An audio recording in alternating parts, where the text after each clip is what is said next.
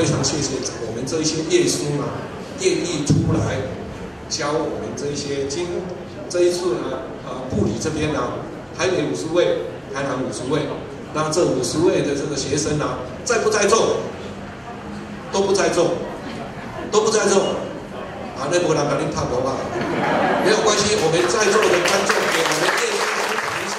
下。当时他丢下一个炸弹给各个学员，就是说希望呃各各个学员用漫画来表达为什么是参加这个课程。那学员就很很热情的，就是画画好。那我们就在在场的时候，我就把各个学员的画一一照下来，放放在我的电脑当中。当时我就想说，我想希望能够在四个月之后，看看各位的的成品的表现是如何。那今天我跟同仁特别提早到这个这个园区来看各位的作品。然后我也看到南台科技大学给我们的成果报告，就是说学员我们有一个一百个学员，其中有四十部作品是超过三十页的。